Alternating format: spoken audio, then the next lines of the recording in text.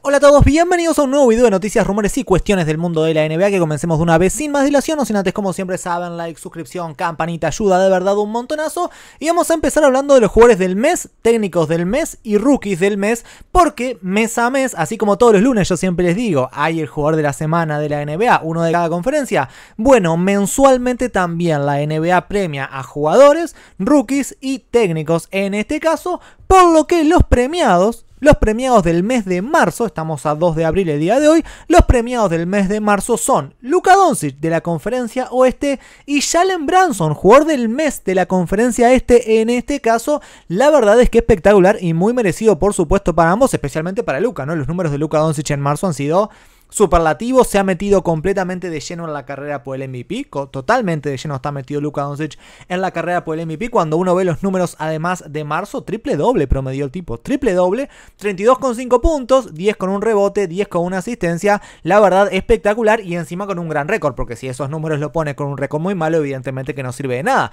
pero récord 11-3 tuvo Luka Doncic, fue increíble, totalmente increíble, mes soñado, mes soñado de eh, Luka Doncic en este caso para el equipo de Dallas y en la conferencia este, bueno, de New York Knicks, que también Knicks dentro de todo, digamos, con todos los problemas que tiene, que sabemos que Knicks tiene lesiones y que volvió uno y Anunobi se lesiona y Randall sigue sin estar y Mr. Robinson volvió pero no parece estar muy bien. Bueno, con todo eso, así todo, Knicks ha tenido récord positivo, 9-4, 28,8 puntos por partido, 5,8 asistencias para Jalen Branson que ha jugado increíble. Es bien curioso que podrían estar jugando los dos en el mismo equipo, ¿no? Pero bueno, están en equipos separados ahora mismo. La felicidad para ambos en este caso seguramente y muy merecido, muy merecido el premio a jugadores de mes de el mes de marzo en este caso. Por otra parte, los rookies, bueno, acá sí que es cierto, mucho menos peleado, mucho más predecible, la verdad, es la realidad.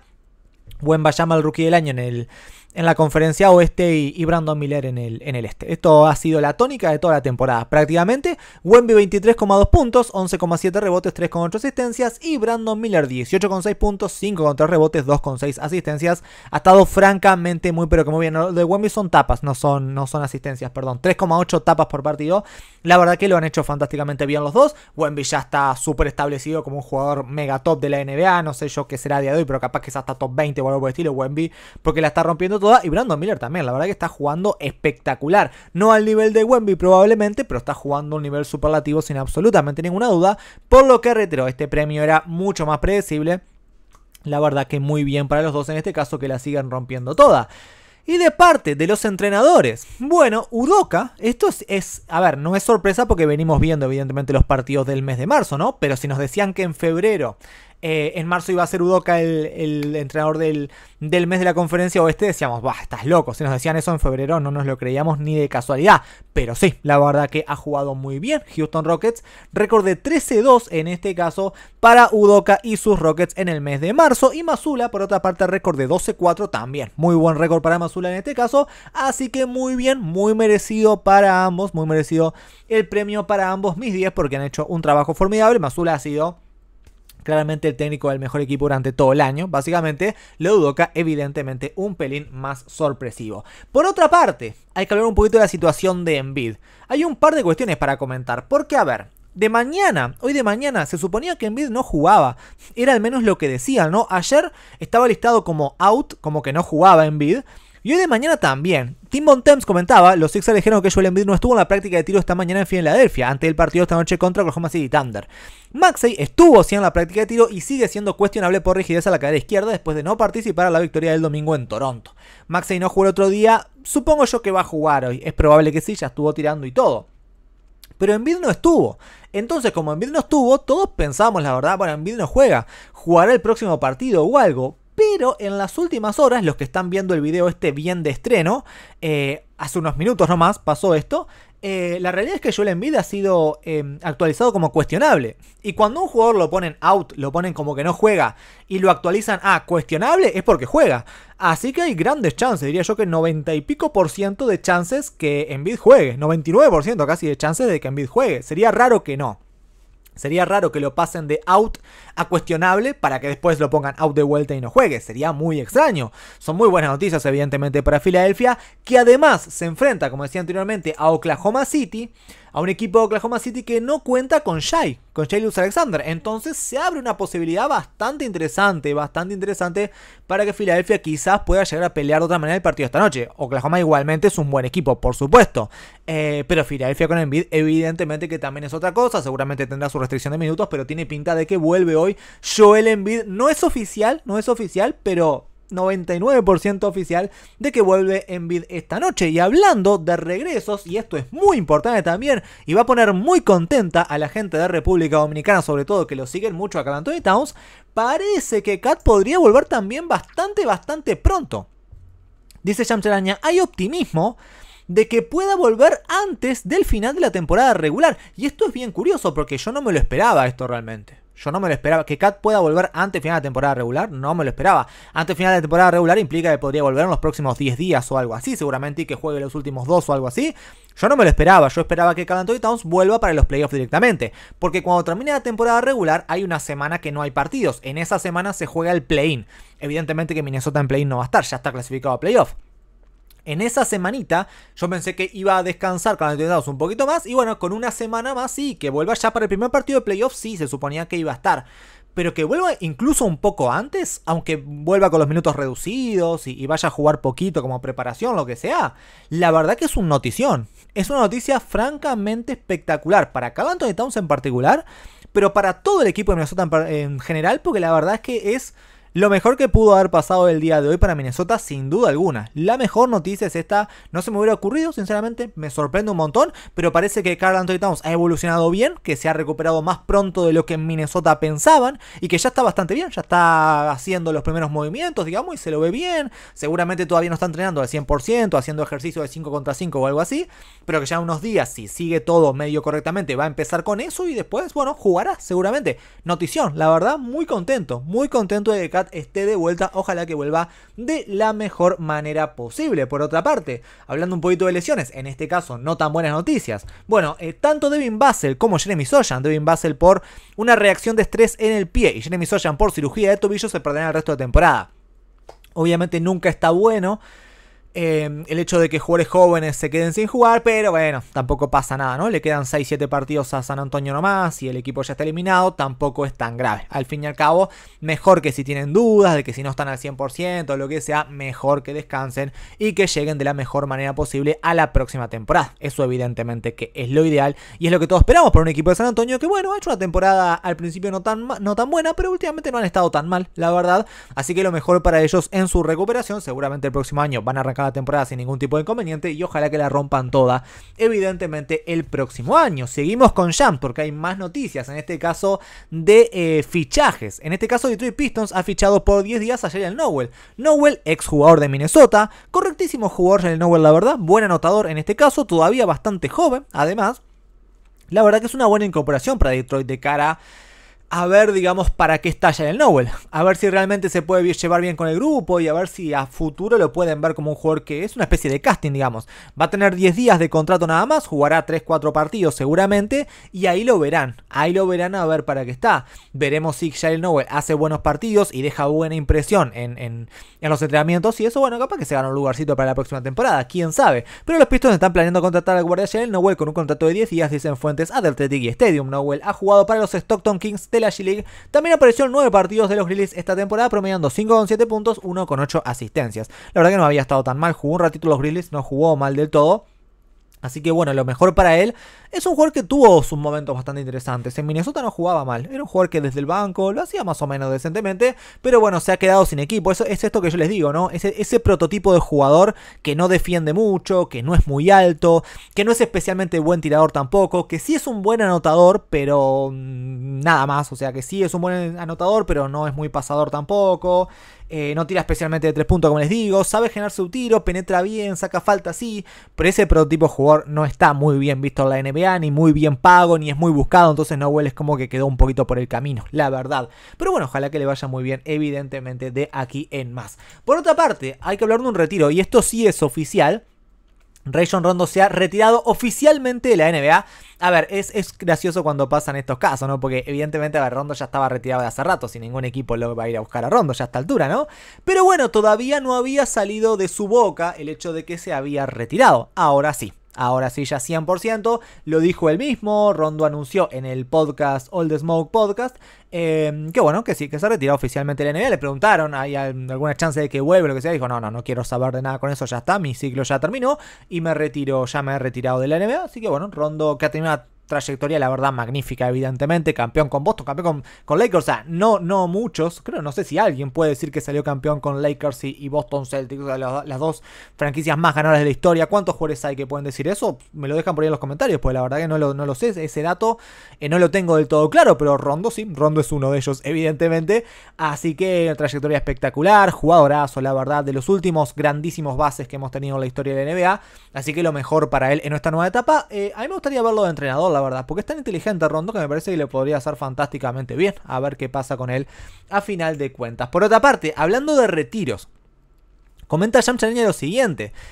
Dice Shams en su perspectiva, en su opinión y en lo que a él le cuentan, en lo que a Shams le cuentan, que LeBron James va a seguir en la NBA la próxima temporada y quizás juegue un año más que ese es el plan a día de hoy más o menos de LeBron según lo que dice el entorno y según lo que él medio pretende, según lo que le ha comentado Rich Paul también en este caso, que esa es la opción digamos en este sentido. LeBron va a seguir el año que viene y esto creo que todos medio lo sabíamos, ¿no? Más allá de que LeBron el otro día dejó medio la puerta abierta porque dijo, bueno, me queda muy poco, no voy a jugar mucho más, lo que sea, sí que es cierto que dejó LeBron medio ahí, podríamos llegar a decir la puerta entreabierta a un posible retiro inminente, pero un año más por lo menos va a jugar. Esa igualmente es la sensación que dio también, porque tampoco dijo, capaz que me retiro ya esta temporada, tampoco lo dijo así. Entonces, a partir de eso, un año más va a jugar. Dependiendo cómo vayan las cosas, quizás juegue otro. Eh, pero no mucho más que eso. Ténganlo en cuenta, no mucho más que eso. Es evidente, LeBron ya tiene 39 años, 40 tendrá la temporada que viene. Si juega otra más, va a tener 41, casi 42. Entonces ya llega un punto que también el cuerpo ya te pide otra cosa. Y ya él, su vida incluso querrá otra cosa también. Ya tantos años jugando debe ser complicado. Él tiene ese sueño de jugar con su hijo y todo, pero vaya uno a saber. El tema del hijo también, con, con el tema de salud que tuvo y que ha bajado mucho los mock draft y todo eso Creo también en este caso que ha, que ha hecho que, bueno, las expectativas de Lebron por ahí en ese sentido también, capaz que se ven un poquitito más truncadas o lo que sea, o que capaz que el hijo quiere seguir un añito más en el básquet colegial y eso como que puede complicar un poquito más todavía la cosa. No lo sé, pero tiene pinta al día de hoy de que LeBron por lo menos un par de añitos capaz que juega, eh, pero no mucho más, evidentemente no mucho más, esa es la información que anda a la vuelta, así que como siempre les digo, disfrútenlo mucho porque es un jugador increíble y, e histórico y nunca visto, así que disfrútenlo muchísimo, evidentemente porque no quedas tanto de ver a LeBron, un LeBron que está eh, para el día de hoy medio cuestionable, estaba como cuestionable, tanto LeBron como Davis son eh, cuestionables para hoy y son decisiones de partido, o sea, vamos a ver previo al partido si juegan o no. En los momentos antes del partido, 20 minutos antes o algo así, sabremos si juegan o no finalmente Davis y LeBron James. Em, veremos, no lo sé, porque mañana Lakers juega otra vez, tiene back to back Lakers, entonces no sé, quién sabe si Lakers eh, los pondrá los dos, capaz que juega, muchas veces se ha dado esta temporada que un partido juega uno, el otro juega el otro, puede ser también, podría llegar a ser una opción también en este caso, habrá que ver qué sucede, pero evidentemente que Lakers tiene un partido en el día de hoy medio sencillo a priori contra Toronto, porque la verdad Toronto es un equipo que viene perdiendo todo últimamente, pero un equipo de Toronto que tiene un par de regresos. Tiene el regreso de R.J. Barrett y tiene el regreso de Manuel Quickly. Los dos van a tener minutos reducidos, eso sí, no van a jugar demasiado, pero vuelven los dos. Es interesante igualmente porque, bueno, el equipo va a tener por lo menos un equipo más completo y va a estar mejor. Y la verdad que Toronto con este equipo, Toronto con Quickly, con Barrett, bueno, Olinik por allí andará también. Em, evidentemente que mm, no sé si Gary Trent juega o no juega, eso sí que no sé. El otro día no jugó, no sé si mañana, si hoy jugará, perdón. Eh, tenés a Grady Dick que no ha jugado mal últimamente. Si está fino desde el tiro te puede complicar un poquito, qué sé yo, no sé. Es un equipo un poquito mejor. Lakers debería ganar igual, evidentemente. Debería ganar igual.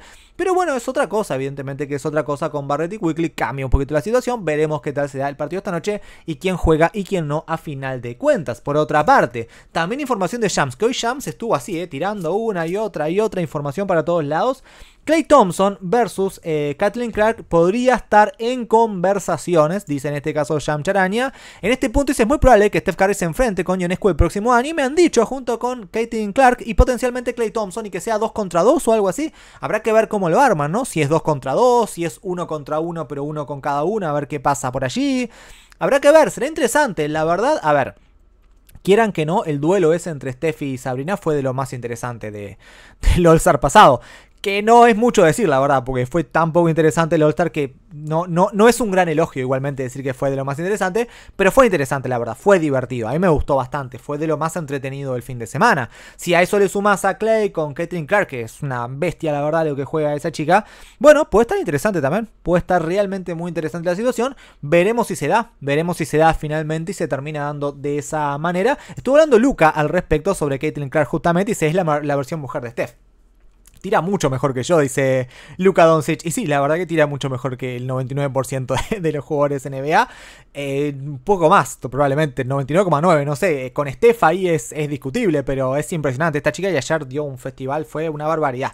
Realmente una locura lo que juega esta chica, es impresionante. Pero tiene una mano, tiene una mano que es algo nunca visto, un tiro tan, tan, tan lindo sacar. es, es realmente muy estética, muy estética a la hora de de cómo mueve la muñeca, cómo se posiciona, todo.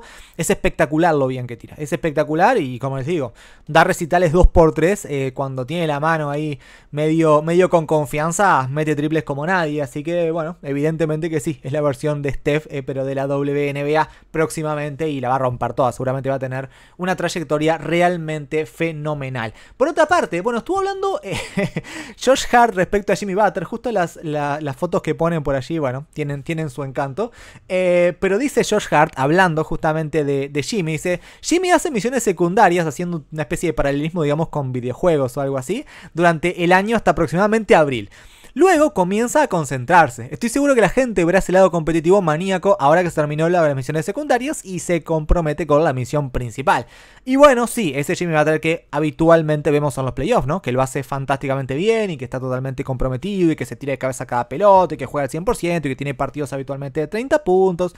Todo eso, evidentemente, absolutamente todo eso que habitualmente comentamos, habrá que ver, habrá que ver esta temporada qué tal lo hace Jimmy Butler, a ver si puede emular un poquito lo que fueron los playoffs, en este caso del año pasado, ¿no? Que estuvo muy bien Jimmy, estuvo realmente muy pero que muy bien, a ver si esta vez también puede estar de la mejor manera posible. Por otra parte, también quieren estar de la mejor manera posible los Boston Celtics, que quizás enfrenten en primera ronda a Miami, no es tan loco al fin y al cabo, y eh, Porzingis está con muchas ganas, está muy manija Porzingis al fin y al cabo. Dice, no puedo ni imaginarme cómo será el jardín ya. El jardín es el Garden, el estadio de los, de los Celtics evidentemente.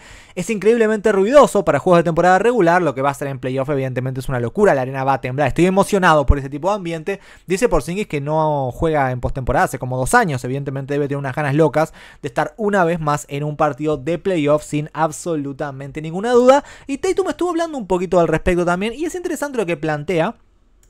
Porque Boston ha hecho una gran temporada regular, la verdad. Pero eso no quita de que a veces pierda algún que otro partido y la gente se enloquezca un poco. Eso pasa, o sea. Es como que no sé, la gente se acostumbra mucho a ganar y es como que le pierde un poco el gusto, ¿no? Entonces uno a veces ve fanáticos de Boston que, bueno, son un poco por demás eh, caprichosos o, por demás pesimistas, quizás se podría decir, ¿no? Eh, y le preguntaron a Tatum si los Celtics están alcanzando el punto máximo en el momento adecuado ante playoffs. Y dice, absolutamente sí. Solo tratamos de mantenernos saludables, ese es el plan. Utilizamos estos últimos juegos como algo en lo que podemos trabajar, diferentes situaciones que podríamos estar para usar cuando llegue el momento de los playoffs. Y es verdad, gente, Boston a, día de hoy... Había gente que el otro día se preocupaba porque perdió contra Atlanta o algo así. Eh, pasa nada, gente, no pasa nada. Tiene un récord impresionante Boston. Cuando le toque jugar contra Atlanta, quédense tranquilos que Boston va a jugar bien y 99% de chance de que va a ganar. Sería muy raro que Atlanta le gane 4 partidos de 7 a Boston. Pero Boston ha usado sus últimos partidos de temporada regular y lo va a seguir haciendo para probar cosas, para seguir probando alineaciones, para seguir probando determinados eh, sistemas, para seguir probando determinadas jugadas puntuales. O sea, sí, eh, está para eso, justamente. Cuando vos sacás ventaja, o tenés esa suerte de sacar tanta ventaja, parecido a Denver el año pasado. Ustedes se acuerdan que había gente que decía, uy, mirá cómo se cayó Denver en, en abril. ¿Qué Denver es un desastre. Denver no sale campeón ni de casualidad, decían algunos. Mirá cómo se cayó en abril, que venía tan bien, pero se ha caído un montón. No, Denver estaba probando, estaba tranquilo, si ya sabía que quedaba primero. No había ninguna chance de que no quedara primero. Con Boston pasa esto mismo, así que por favor no se enloquezcan si pierde un partido, que no pasa absolutamente nada. Y evidentemente el equipo está haciendo pruebas, está haciendo buscando alternativas está haciendo cosas distintas para ver con qué se encuentra de cara a lo que se viene también. Por otra parte, rumores de eh, renovación. Anunobi, que sigue sin jugar a día de hoy, Eh, y parece que no va a jugar. No, se sabe bien qué pasa, si vuelve, si no vuelve, pero no hay novedades al respecto. Eh, parece que, bueno, va a estar buscando un contrato de 150 por 4.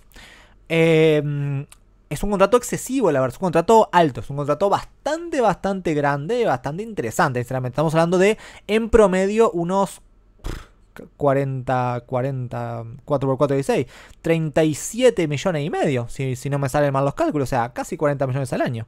37 millones y pico, que será de 35 el primer año, más cerca de 40 en el último, eh, pero contratito alto está buscando a Nunovi, la verdad. Me parece un poquito mucho, la verdad, debo confesar también. Me gusta Nunovi, me parece un gran jugador realmente.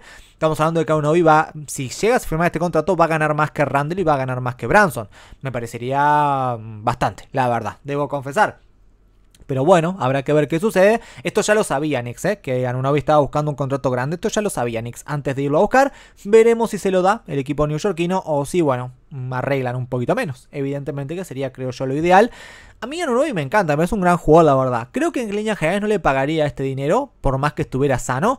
Pero además, encima Anunobi es muy proclive a lesionarse. En Toronto lo era, claramente lo era, estuvo lesionado mucho tiempo, vive medio lesionado.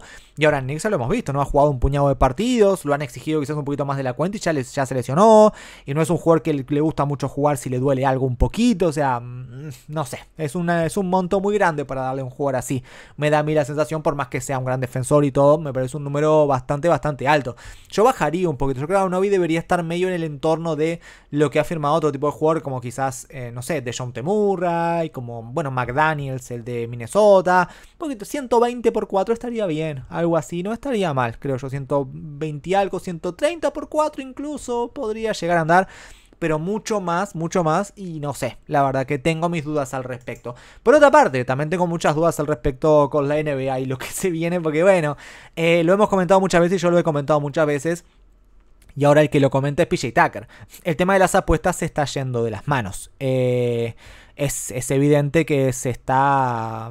Eh, mucha gente me comentaba en un video que yo hice hace no tanto hablando justamente de esto, me decía, bueno, pero apuestas hubo siempre, apuestas siempre, uy, no, y eso no quita que, que el deporte siga existiendo. Bueno, sí, es cierto, ha habido siempre, pero creo que estamos llegando a unos estándares que son cada vez más increíbles y cada vez más insólitos y está cada vez peor la cosa. Lo comenta David Dadrich en este caso, dice, esta temporada se ha vuelto... ¿Qué pasó? Acá. Esta temporada se ha vuelto más oscuro. Y sí, la verdad es que se está volviendo cada vez más oscuro. Y PJ Tucker dice, bueno, en las arenas, en los, en los estadios, escuchás a los fanáticos gritándote a partir de las apuestas. Y dice, es, es increíble y es un problema. Y sí, la verdad que es un problema. Ojalá que en algún momento esto se solucione, evidentemente, y que la gente vuelva a ver el deporte como, como un divertimento, ¿no? Y no como una manera de tirar el dinero. Pero bueno, ojalá, ojalá que así sea. O por lo menos que no le molesten a los jugadores, ¿no? Porque evidentemente eso puede cambiar absolutamente todo.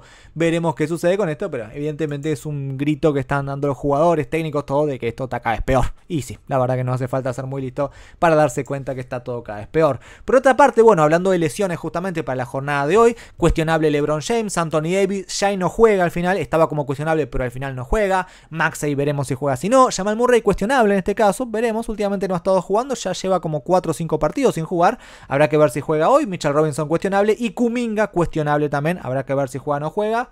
Creo que va por el tercer partido que se ha perdido Kuminga. Creo. 3 o 4 creo que va. No, menos creo que no. Pero por ahí andará. Está en duda para el partido de hoy. Listado como cuestionable. Bueno, hay chance de que juegue, pero quizás no lo haga. Probables para el día de hoy. Eh, Jokic, eh, Giannis, Barrett, Quickly, Aaron Gordon, Terry Rozier, Clay Thompson. Van a jugar todos estos, evidentemente. Así que bueno, jornada interesante la de hoy con muchos partidos. 9 para ser más exactos. Bien a primerísima hora Lakers visita el equipo de Toronto Raptors. A la misma hora Milwaukee va contra los Washington Wizards. Y un ratito más tarde, media hora más tarde nada más, Oklahoma va contra Filadelfia. Lindo partido ese por allí. Knicks va contra el equipo de... Em, Miami Heat. Eh, lindo partido ese también, la verdad. Nick contra Miami es un lindo partido para los dos, porque bueno, en la tabla si bien es cierto que Knicks está bastante arriba, no están tan tan lejos. Eh, y además es un partido importante porque ambos están jugando posiciones importantes. Y Oklahoma Filadelfia también, evidentemente. Así que importantes partidos por allí. Rockets visita a Minnesota, importante partido también para ambos. Minnesota viene de perder, Rockets también. Veremos qué pasa con ellos dos. Por otra parte, el equipo de San Antonio visita ni más ni menos que a los Denver Nuggets justamente. Cleveland va contra Utah Jazz. Quizás el partido de la jornada Dallas contra Warriors, un partidazo realmente. Y Clippers visita Sacramento. Importante esto, no juega Kawhi para Clippers. Importante, está con un dolorcito en la rodilla, Kawhi aparentemente, y no juega esta noche contra Sacramento. Es obviamente una notición para Sacramento. Veremos a ver si Sacramento lo aprovecha, un Sacramento que también tiene lesiones, pero bueno, sin Kawhi del otro lado, evidentemente se facilita un pelín la situación. Veremos qué pasa con estos equipos en la jornada de hoy. Si les gustó el video, como siempre saben, like, suscripción, campanita ayuda de verdad un montonazo. Muchas gracias a todos por haber llegado hasta aquí y obviamente nos vemos la próxima.